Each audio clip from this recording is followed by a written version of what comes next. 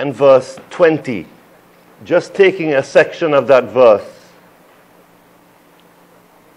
What was translated in the King James as understood, being understood. 3539 in Strong's. You see, it says, Noeo, to exercise the mind and to observe. I understand that spiritual teachings are complicated and are difficult to deal with. But if we say we are the Christian church, it says here in my book, I don't know about yours, but it says in my book, in Romans 1 20 in the middle, that we are called to understand the spiritual creation, the product, the things that were made in the Rima age, even his eternal power, that we are called to exercise our mind in the eternal power of God and in the divinity of God, the fact that He's God and operates as such in a spiritual way. We are called to exercise our minds in these things. We are not called to be a carnal church, but we are called to be a spiritual church. A church that understands things that exist in eternity, and we are called to function in them, not only to exercise our mind in them, but we are called to be connected to those things so that those things can become a part of us and that we assimilate these things into our being so that they become a part of us, an integral part of us for now and for forever. We were in Matthew 4 4 this morning. I want you just to look at that for a moment and to concentrate on that part of the verse where it says, but by every word. But by every word. And the Greek for every was pas, P A S, and I'd like you to check it in the lexical aids with me, please. 3956. And it's speaking about pas rhema. Every rima, every spiritual work, that we need those works, not word, but that we need those works to sustain us in life as we pass through our physical existence. Who is here?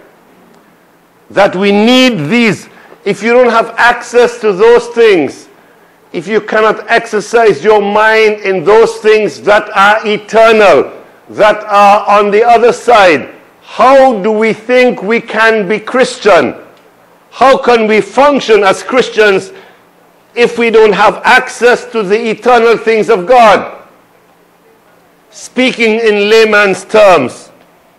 Now, it's referring to pas rhema and according to the lexical aids, it says pas is, I assume we're all there.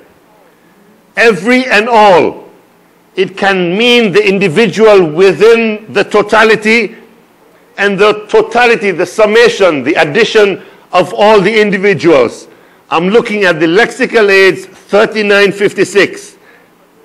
It can stand alone, as in the case of pas, anyone and everyone. I want you to look at Matthew 7:24 which is referred to here in the passage.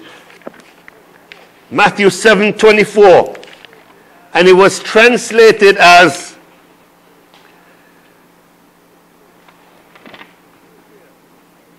Who is there?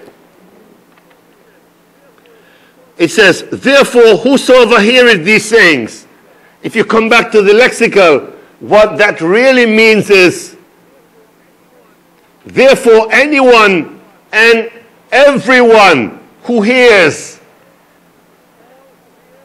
it's all who hear, and it's each single one who hears.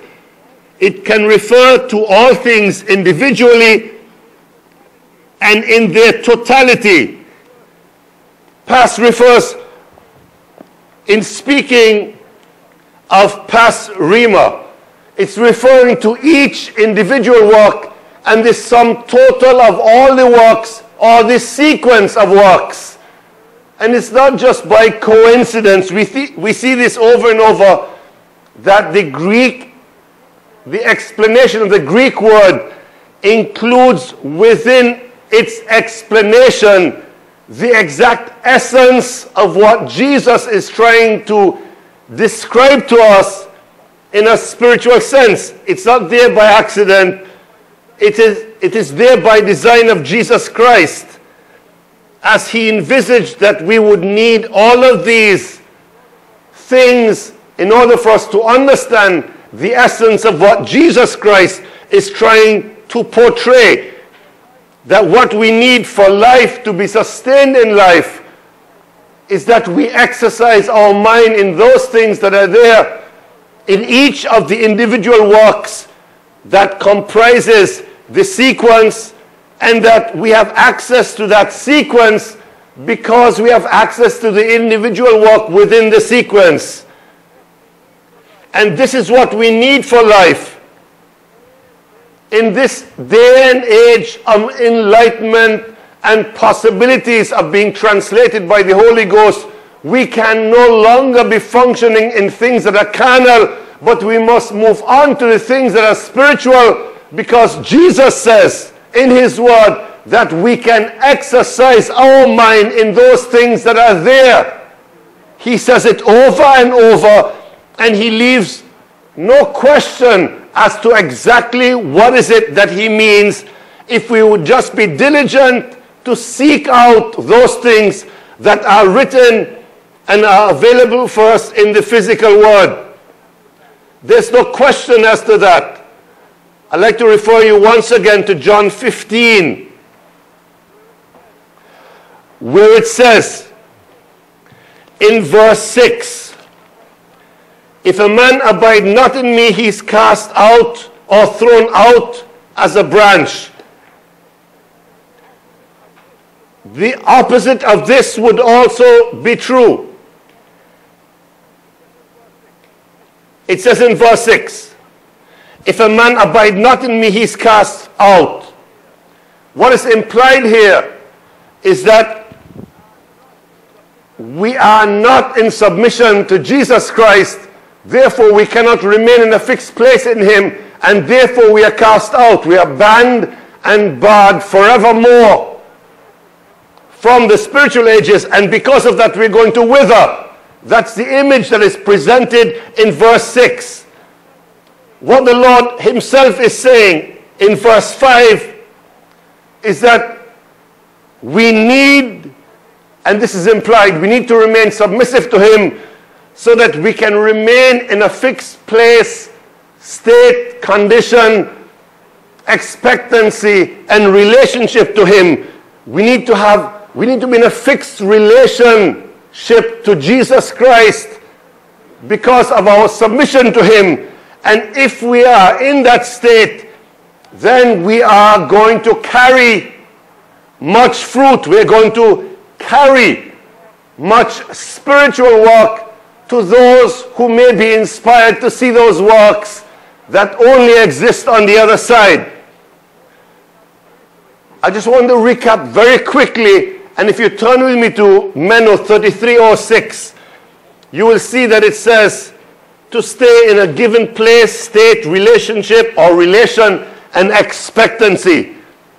Now, the place that is being referred to that we remain in a fixed place or given place in Jesus Christ, it assumes that we are in the correct physical place, that we're in a place of physical repentance so that we can remain. Who is here? In a fixed place, which is in the spiritual ages in Jesus Christ. That means that we are in a fixed condition in Jesus Christ, that we remain in this condition of having our nature reversed. And what I'm saying to you and have been saying to you for the past two weeks is that this is what we crave. This should be your aim in life. Not to the pursuit of happiness or anything that is physical, but rather that we have our nature reversed. If your nature is reversed through a spiritual connection in Jesus Christ, then all your problems will be solved because you would not be a physical condition, but your nature would be reverted or reversed to a state of being a spiritual being, the same being that you were created as in the Rima age before the physical creation. Who is still here?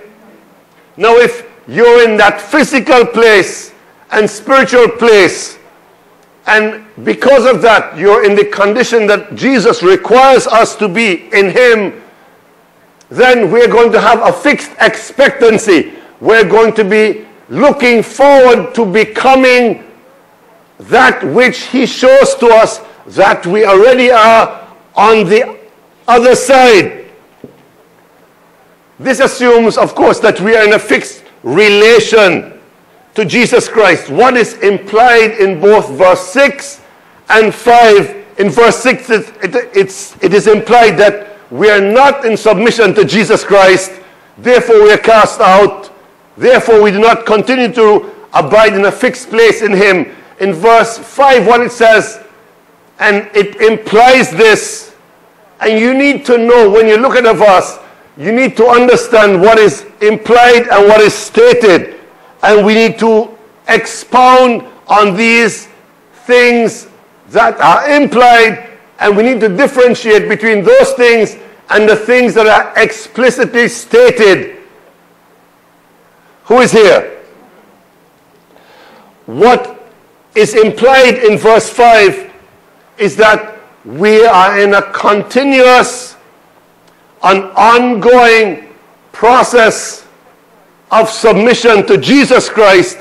And because of that, we remain in a fixed place in Him on the other side where He is having access to see all those things and to have knowledge of all those things that we already are on the other side while we remain in that same relationship that we were called to in relation to Jesus Christ. That is what is implied. What is stated is that if we continue to remain in a fixed place in Jesus, we are going to carry much fruit to those that we minister to. Now, what is the distinction between verse 5 and verse 6? In one, we are submissive, and in the second one, we're not, and we are cast out. You should be able to discern and to see that it is possible to be in a condition of verse 5 and then shift to a condition of verse 6 in your own life, that it is possible to change from being a Christian to being bad from the spiritual ages, and that you can only be a Christian in name. What comes between verse 5 and verse 6? What, what would happen? to make you shift from being in a position in Jesus Christ because you've seen the glory, you have had access to the glory to Jesus Christ. What would make you shift? What on earth? I mean, which fool would leave the glory of God to embrace spiritual banishment, exile? Who? Exile for good. Which fool would embrace that? the fool that is referred to in Matthew 13 in verse 20 and 21. Endure it for a while, but when pressure from opposition or persecution arises because of the spiritual connection, by and by he's offended and leaves. That is why it is very clearly stated because of opposition, because of pressure, or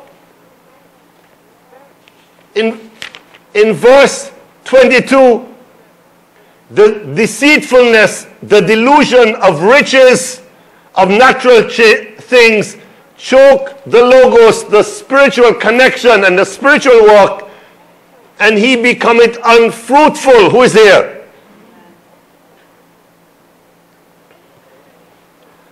It's very plain. The Lord states this over and over. We can begin to produce and then make a decision to stop. Now, what I'm saying to you, that it is about time that we make up our minds exactly what we want out of this life. What is it that we desire to have out of this life? And what I am recommending to you is that the choice that you make tonight is that you choose Jesus Christ and your eternal deliverance. That is what I'm No, you don't have to follow what I'm saying, but I'm strongly urging that that is what you do. Who is here tonight? Praise the name of the Lord. Once we submit to the specific, individual, finished spiritual work, Christ can connect us to that work. That is all that stands between you and the exercising of your mind in things that are there. Your submission, your will. We're not called to be here today and not in Jesus tomorrow. We are called to remain in Jesus in a fixed state all the time. I said specific because it is pointed out to us by Jesus Christ. It is something that is specified by Jesus Christ. Therefore, it is specific. Who got that? It is individual because it is one work of the sequence at a time. That is all that Jesus requires from you. What we need is to remain submissive to Jesus Christ as he relays spiritual communications to us in the declaration so that we are on a steady diet of spiritual connections. This is what we're aiming for. A continuous diet. Just like how you eat naturally every day, you need to eat spiritually every day to remain strong. You can't expect to go on a fast and operate like a giant in the spirit. You're going to become a pauper and a weakling in the spirit. And when oppression comes at you, you won't be able to resist and it's going to get on your back. What we need is a steady diet of spiritual connections, otherwise referred to in the King James as our daily bread. I want you to go to what we call the Lord's Prayer incorrectly in Matthew 6 11, please, and particularly that verse where it says, Jesus teaching us how to pray. What is it that we need to open ourselves? Do we believe in prayer? Does this church believe in prayer? Of course we believe in prayer. But spiritual prayer not prayer which is just empty words, but prayer that is sourced in Jesus Christ, that is inspired and led by Jesus Christ, because we have access to Him. Everything we do in this life should be based on the leading of Jesus Christ, of God, the Spirit. Who is here?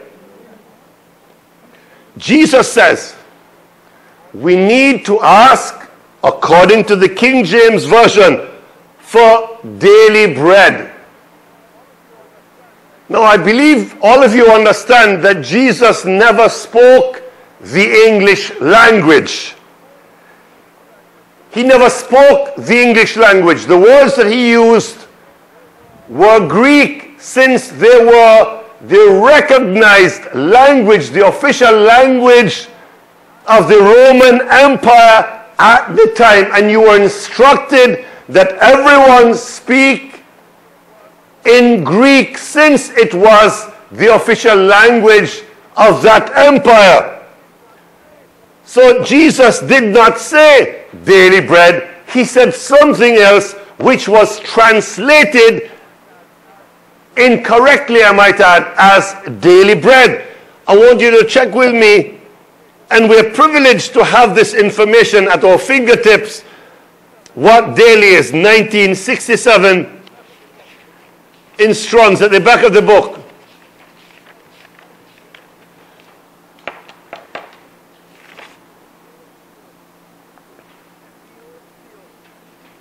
Epiousios. Who sees it? Subsistence. Who sees that? Daily comes from another Greek word that epiousios is related to epiousa, ensuing day or night in 1966. Who sees that one? I want you then to turn with me, please, to the lexical aids, 1967.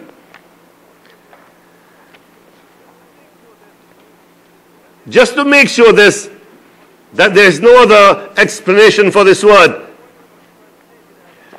The word that was translated as daily is epiousios from Epi 1909 for into an ousia being and substance occurs only in the Lord's Prayer in Matthew 6:11. In the entire what we call New Testament, it occurs only once according to this information. Occurs only in the Lord's Prayer in Matthew 6:11 and Luke 11:3. It was coined by the evangelist analogous to periousios from peri, beyond, and ousia, being of substance. Who is here? The substance from beyond. The Greek church father, Chrysostom, explained epiousion arton as the bread which is needed for our daily support of life. It is that bread which is needful to the ousia, substance of our being that will sustain us, that will keep us alive. Similar to what was said in Matthew 4 4, that we need each and every rhema for life. Who is still here? The Greek church father, Chrysostom, explained the fact that it was bread but I might be bold enough to say that this church father was incorrect. He was incorrect to say daily because that is not what the Greek word that Jesus used suggests. What the Greek word suggests that epiousios is, is subsistence from the Greek words epi, towards, and eimi, 1510, which is exist. And you can put these two words together, which speaks of towards or in the direction of existence. And I might add continued existence. Subsistence speaks of the act of subsisting, the act of remaining in existence. Who's here? The second word that we need to look at is the Greek for bread in 740. In Strong's. And the original word that was used in Greek is artos, bread as raised or a loaf. So, what Jesus actually said was that we should look for our subsistence bread. The bread that would keep us alive. The bread that would sustain us in this life through this physical life. No, God isn't going to have any oppressed life for you. So it is assumed that we understand that Jesus is speaking to us that we need this bread to sustain us in the abundant life. Life whereby we have access to the things that are on the other side and that our minds are able to function in those things on a continuous basis. I want you to look at the root of the word artos, which is from 142. Ahiro, to lift, by implication, to take up or away. Figuratively, to raise, to keep in suspense. There are two things, I don't know if you realize it, but there are two things that the word artos and the root of it suggests. One, I want you to look at that section in 142. To lift, to take up or away, to raise, that's one, and then to keep in suspense. There are two parts to this word, airo, from which artos, bread, is derived from. Who is here? There are two words, and this is very significant. It's not just by accident that the essence of artos is airo which speaks of two things to raise, to lift, and to keep in suspense. They're two, two different things, not the same thing. So, what you could say that Jesus is saying to us in verse 11, Matthew, is that he's speaking of subsistence, subsistence bread, and which is what we should be asking for or opening ourselves to receive. In spiritual terms, and the Greek word is epiousios artos, which is subsistence bread. But in a spiritual sense, you would have to say subsistence excursions. The excursions that sustain us in this spiritual life that we are interested in as Christians. Artos and airo indicating that we are translated to the spiritual ages by the Holy Ghost for the purpose of subsistence, of remaining in existence, of sustaining our life in the spiritual ages and by the spiritual ages.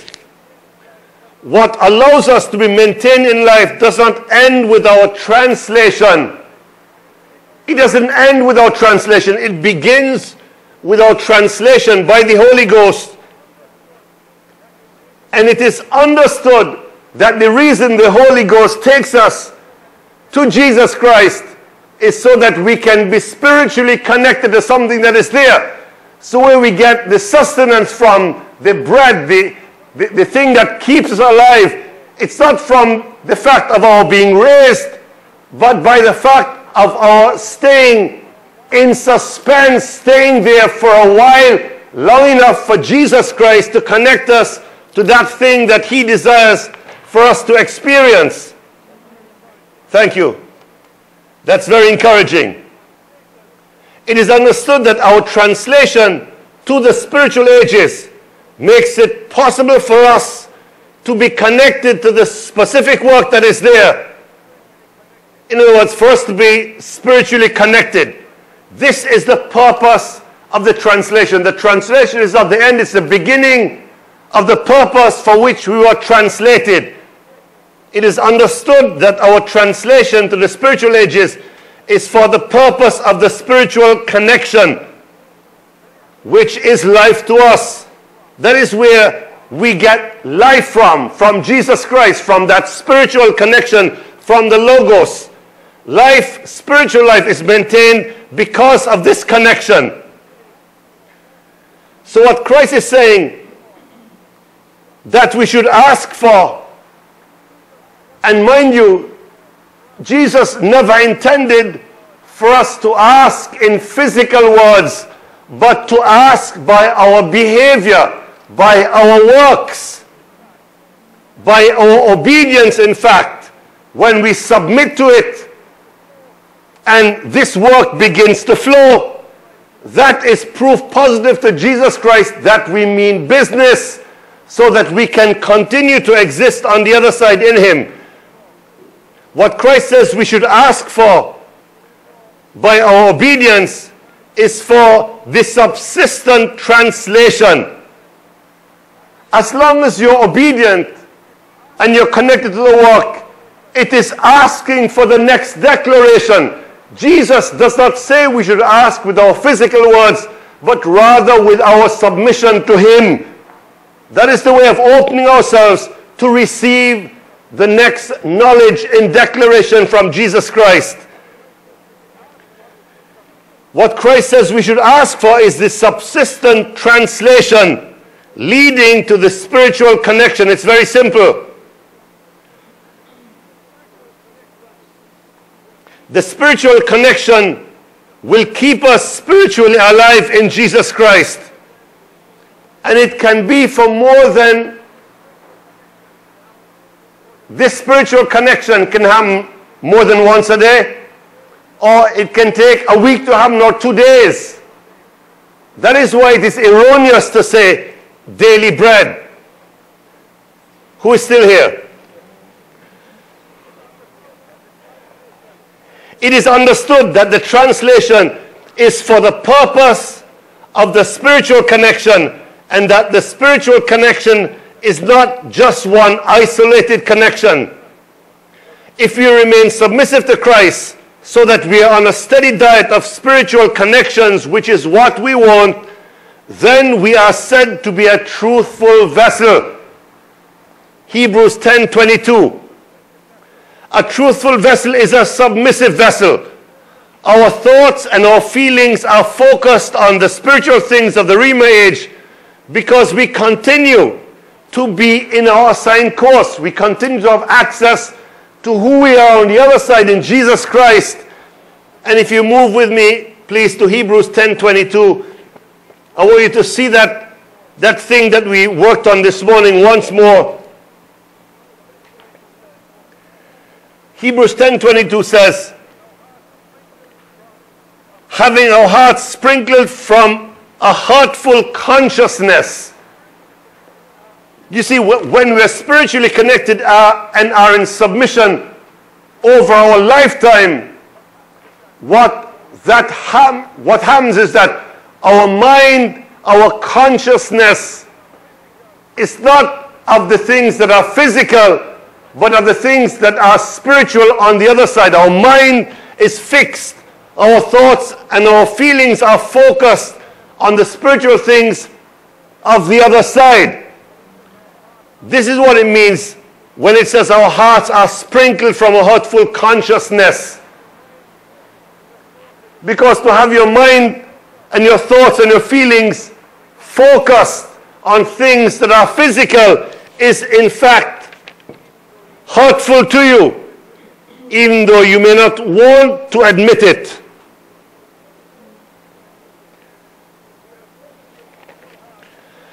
We are said to be a truthful heart if our thoughts and our feelings are not of natural things.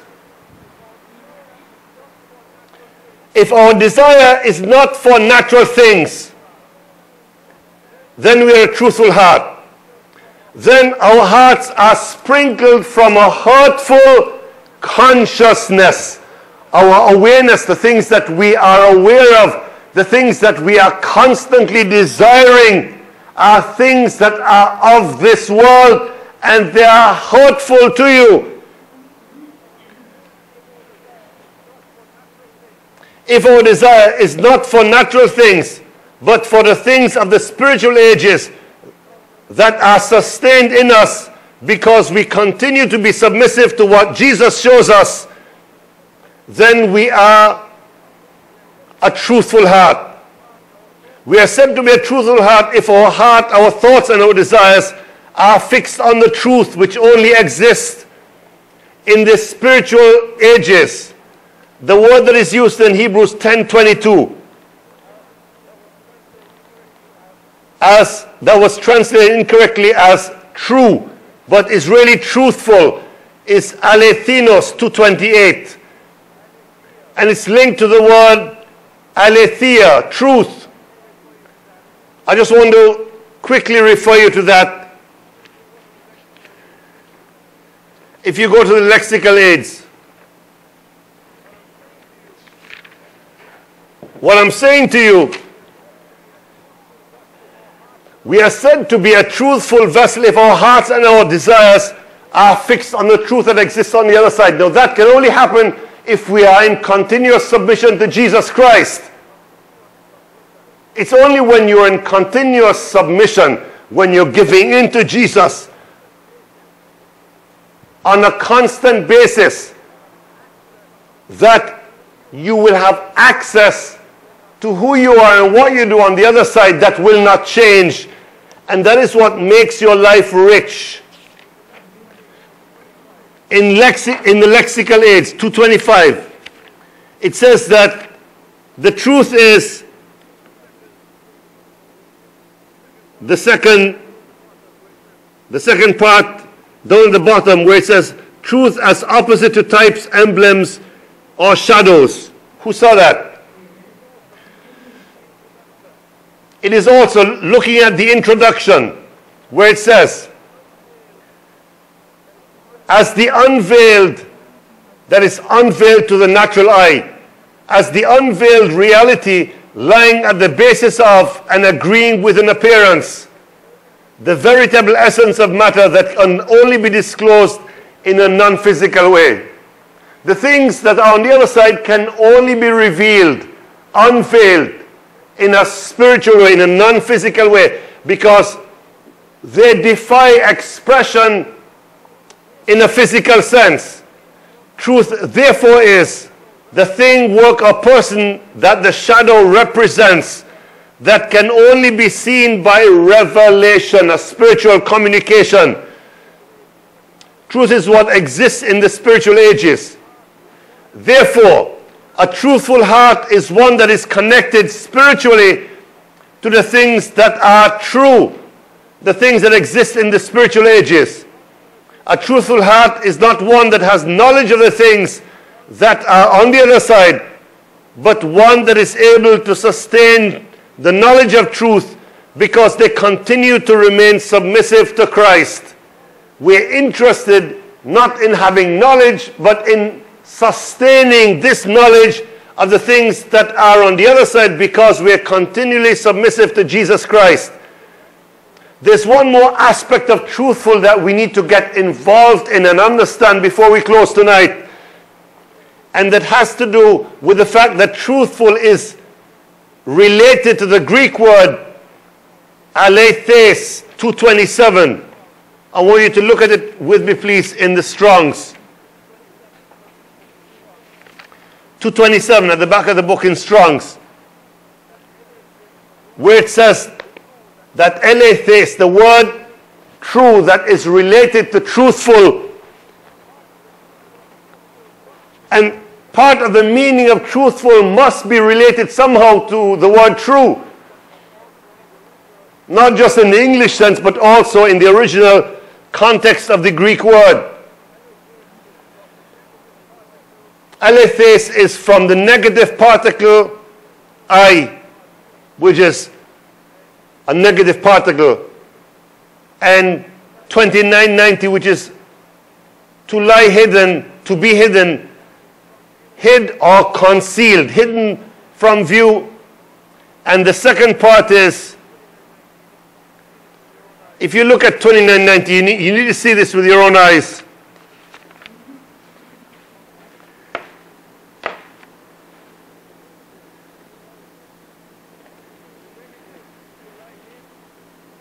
the negative, to lie hid unwittingly.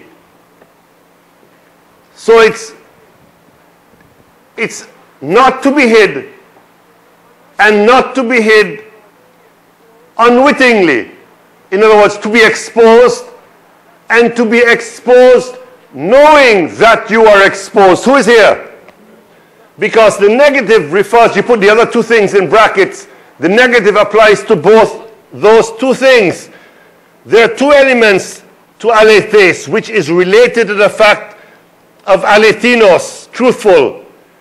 The element of not hidden, to be not concealed, to lie not hid but in open view. A truthful heart is one that is not hidden from view, not concealed from view. From whose view? From the view of Christ. Why? Because He is the one to see us. When we are translated by the Holy Ghost, it is who we are translated to see. That's Jesus is the reason we are translated. It's not to see someone else, but it's to see Jesus Christ. We don't only see Christ, but Christ also sees us as we are translated to the spiritual ages. And Christ is the one who shows us the declaration, and Christ is the one who connects us to the spiritual work and to himself. A truthful heart is one that Christ sees because we remain submissive to him and are being constantly translated back into the spiritual ages. He has to see us if he is to connect us to the spiritual work. A truthful heart is a submissive heart who sees Christ. The second element regarding alethes is this fact of it being not hidden, not unwittingly. In other words, we're not hid, we're exposed to Jesus Christ, He can see us, and we know, we know that fact. We're exposed to His view, and we're exposed to His view knowingly, not, unwit, un, not unwittingly, but wittingly, knowing that we are exposed to His view. We are not hid from the view of Christ, and we know it. We know that Christ has access to us, that Christ can see us, that Christ can and does contact and connect with us. How can we know this? Because we are connected to the glory. And He's the only one who can access that glory unto us.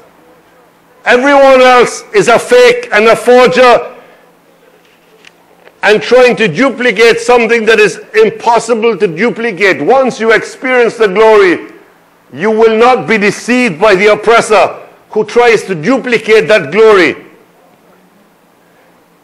In conclusion, the truthful heart is one that is connected to the Logos long term, intermittently, but long term. A truthful heart is one that is in an ongoing state of connection to the Logos of truth, is one that is in a state of spiritual connectedness to the spiritual work of truth. Where truth is that which exists in the spiritual ages, which by nature cannot be changed. To be a truthful vessel is to have conquered our moral depravity our physical condition because Christ reverses our nature to the nature of our original spiritual creation because of the spiritual connection to the spiritual work of the Rhema age. Conquering our moral depravity depends on our being obedient to one single work that Christ shows us continually, not just one. This is our aim. Our aim is to have our nature being in a state of constant reversal, of being constantly reversed as we pass through this life so that we remain in the abundant life that Jesus offers us in himself. That's what we desire. That is what we hunger after. That is what we crave. Not to be limited by our physical condition because we are submissive to Jesus Christ. And you have to put those two things together. You can't divorce one from the other. Our goal in life is not to have our nature reversed. Full stop. It's to have our nature reversed because we are submissive to Jesus Christ. And you cannot divorce these two things. If you do, you become heathen. Because everybody wants to overcome their natural, their physical limitations. But we desire to overcome our natural and our physical incapacity by obedience to Jesus Christ. That is what makes him our deliverer. And that is what makes us Christian. The fact that we are doing it by Jesus Christ, not by our, own mind or by some other way. But by the fact that we believe that Jesus Christ is Lord. A truthful vessel is to be a shadow of who we really are in the spiritual ages. And this is the essence of it. I want you to get this. If you desire to be a truthful vessel, then you are to be a shadow of exactly who you are in Jesus Christ on the other side, not in a physical sense. If you shadow with your actions, with your works, with your behavior, who you are on the other side, then you are a truthful vessel on your way back to the Father. A truthful vessel is to be a shadow of who we really are on the other side. Is to be a shadow of who Christ created us to be in the Rhema age. Is to be a shadow of who Christ originally created us as in the Rhema age and to shadow the sequence of spiritual works that led to our original spiritual creation and to shadow that sequence in our assigned course in the way of the Lord so that others may experience these works spiritually because they're inspired to come before them on the other side. This is the essence of what it means to be a truthful heart. And we need to hold on to our submission to Jesus Christ. You need to battle with yourself. And the battle begins when you come to church. It is a battle for us to get to church.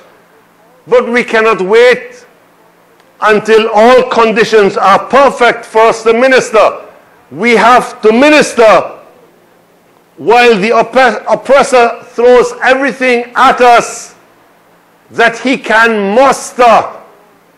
And you must recall this in your own ministry when you're about to muster that there are things that are going to be going absolutely wrong and you must still stand and minister in the name of Jesus, which means that we are coming because he sent us because he has declared to us what to do and what to say and what not to do. And because we are coming in his nature, since we are spiritually connected to him on the other side. In this way, when our mind is focused and we are exercising our mind continually in the things that exist on the other side pertaining to us, then we are said to have a sprinkled heart. Not with physical water, but with the water of the spiritual move that ended in our spiritual creation on the other side. My brothers, I don't know how else, what other angle that I should give this to you today.